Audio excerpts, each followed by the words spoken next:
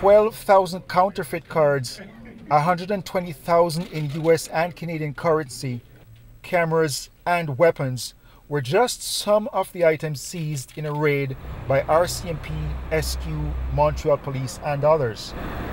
It was a major international fraud ring, and police executed up to 61 warrants this morning. The bank card cloning operation, according to police, is believed to have reached Vancouver and as far away as Australia, New Zealand, Malaysia, Tunisia, and England.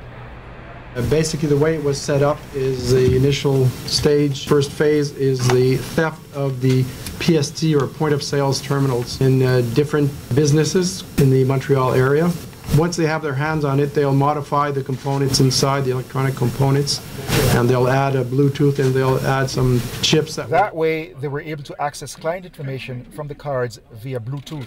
They'll put data on these cards, or clone cards, and now they have these in their possession. They'll put down the PIN number of the customer, and they'll also put down an initial which corresponds to the bank where it was obtained. Within five minutes, you have $30,000 loss. How they do it is when you have 25, 30 people doing this with the cards, they all hit at the same time.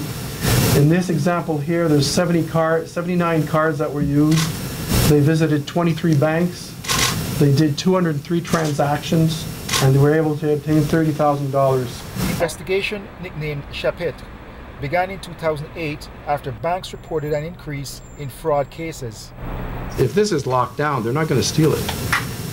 So that, the first thing is these things here, uh, secure them. Charges against the suspect include fraud, manufacturing of forged cards, and identity theft.